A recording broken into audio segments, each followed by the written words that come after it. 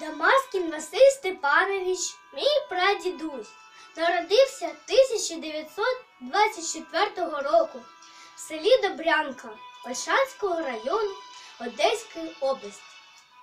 Коли йому виповнилося 17 років, розпочалася війна, і він змушений був піти на фронт, щоб боронити нашу країну від німецько-фашистських загарбників. У січні 1942 року в село прийшли німці і розмістилися у будинку моєї пра-прабабусі.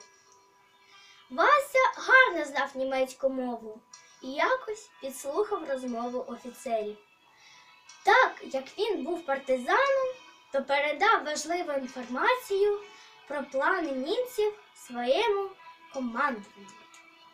Але, на жаль, про це дізналися німці, і вони вивели з дому на подвір'я мою прапрабабусю разом з трьома дітьми, щоб розстріляти. Вася цей час переховувався у скелях біля річки.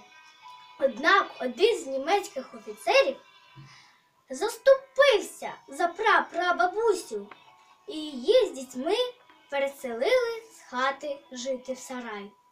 Протягом тижня німці знайшли партизанів, які передавали інформацію разом з моїм прадідусем Пасею. Їх розстріляли. Коли німці залишили село, мій прадідусь Вася пішов служити на фронт у ряди стрілкового полку.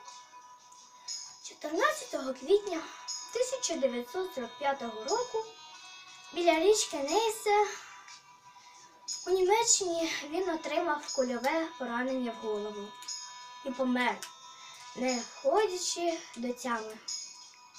8 серпня 1945 року його було нагороджено медаллю за побіду над Германією в Великій Отечественній війні.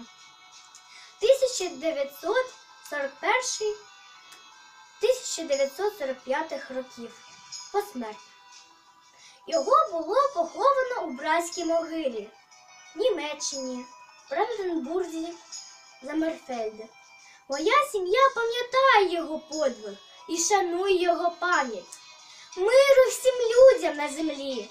Шануємо і ми пам'ять загиблих у війні. 1941-1945 років. Хвилиною мовчання.